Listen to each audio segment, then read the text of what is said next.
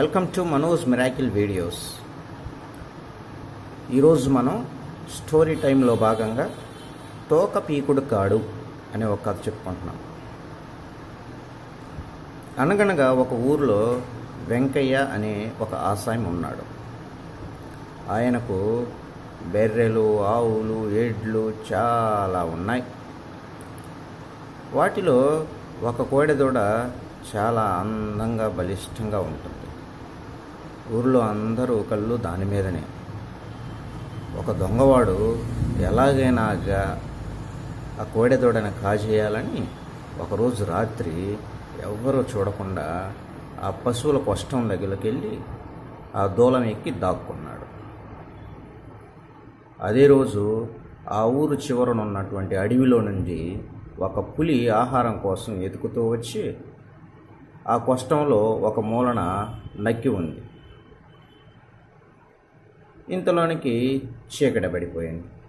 అర్ధరాత్రి దాటిన తర్వాత ఆ దొంగవాడు దూలం మీద నుంచి కిందకి దిగి తన కోడెదోడ ఎక్కడుందా అని తలను తడిమి చూసుకుంటూ ఒక్కొక్క దాన్ని కొమ్ములు తాకి చూసుకుంటూ వెళ్తున్నాడు. తను తీసుకెళ్ళాలనుకున్న కోడెదోడ చాలా చిన్నది ఇంకా కొమ్ములు రాలేదు అని వాడికి తెలుసు. వాడు తలను నిమురుకుంటూ పులి దగ్గరకు వచ్చి తల నిమిరి చూశాడు. దానికి కొమ్ములు లేవు. ఇదే తను తీసుకెళ్ళాల్సిన కోడెదోడ అనుకొని ఎగిరి దాని మీద కూర్చొని ఛాయ్ అన్నాడు. పులి ఒక్క ఉదుటున తన మీద ఎవరో ఎక్కి కూర్చున్నారు. తన మీద గిలి ఎక్కి కూర్చుందని చెప్పేసి భయంతో పరిగెత్తి అడవి కొయ్యకి పరిగెత్తింది. అలా అర్ధరాత్రి గడిచేపటికల్లే అడవిలోనికి చేరింది.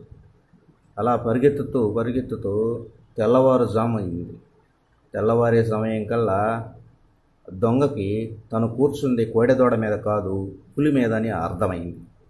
బతుకు జీవుడ ఎలా తప్పించుకోవాలా అని ఆలోచిస్తుంటే ఇంతలోనికి పులి పెద్ద పెద్ద మర్రి ఓడలు ఉన్నటువంటి చెట్టు కింద నుంచి పరిగెత్తసాగింది.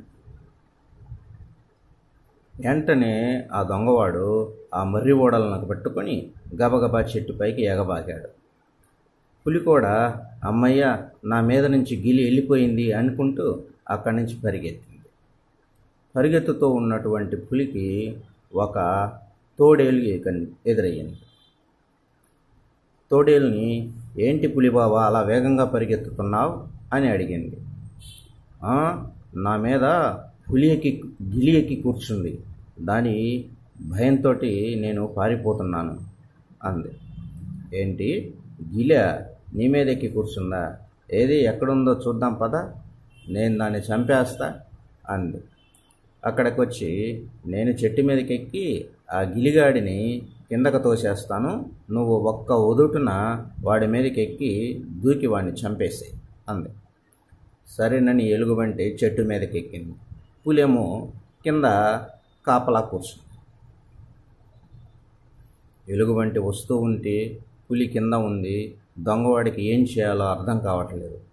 భయంతో తత్రపాటుతోటి ఒక్కసారిగా ఎలుగుబంటిని ఒక్క తన్ను వెనక వైపు నుంచి తన్నాడు. ధడేల్మని ఎలుగుబంటి కింద పడిపోయింది. పులి ఒక్క ఉదాటన ఎలుగుబంటి మీదకు దూకింది. అప్పుడు ఎలుగుబంటి పులిబావ పులిబావ నేను గిలిగాడిని కాదు.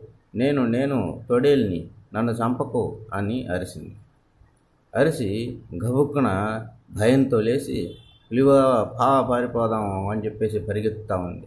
అమ్మో వాడు గిలిగాడు కాదు వాడు వెనక తన్నుడు గాడు ఒక్క తన్ను తన్నాడు నన్ను పద అని పారిపోతా ఉంది. ఆ రెండు అలా పరిగెత్తుతూ భయంతో పారిపోతూ ఉంటే వాళ్ళకి ఒక నక్క కనిపించింది. జిత్తులు మారి నక్క ఏంటి ఇలా ఇద్దరు భయంతో పరిగెత్తిస్తున్నారు ఎక్కడికి? అని చెప్పేసి అడిగింది. ఇప్పుడు పులి అంది ఒక గీగాడు ఆ చెట్టు మీద ఉన్నాడు. వాడు మమ్మల్ని తినేస్తాడు అని భయంతో చెప్పి. తోడేలంది గిరిగాడు కాదు వాడు వెనక తన్నుడు వాడు నన్ను వెనక నుంచి తన్నాడు. వాడి పేరు వెనక తన్నుడు అందుకే వాడి నుంచి దూరంగా పారిపోతున్నాం అంది. వాళ్ళ మాటలు విన్న నక్క చూశారులే మీ సంబడం మీ ధైర్యము మీరు. పదండి వాడి సంగతి నేను చూస్తాను. వాడు గిలిగాడో లేకపోతే వెనక తన్నుడుగాడో తేలుస్తా అనుకుంటూ వాళ్ళిద్దరిని తీసుకొని తిరిగి ఆ చెట్టు దగ్గరకు వచ్చింది.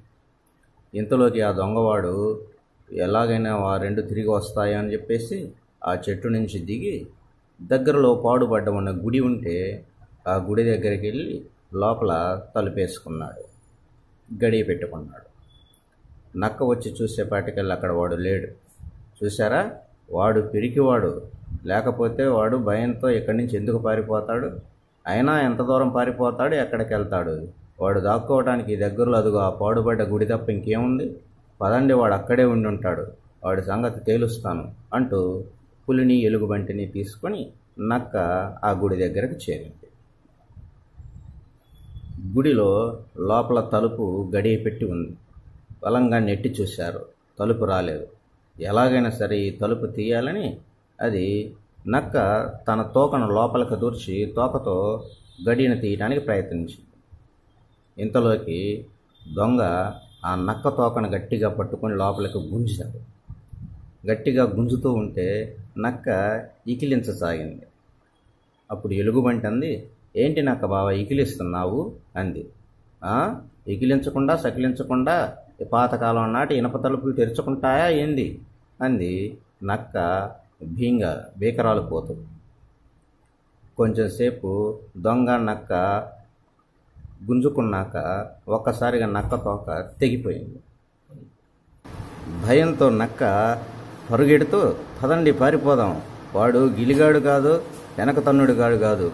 వాడు తోక పీకుడుగాడురా పారిపోండి అని చెప్పేసి పారిపోయాయి. బతుకు జీవుడా అంటూ ఆ దొంగ చిన్నగా అడవి నుంచి తప్పించుకొని ఇంటికి చేరాడు.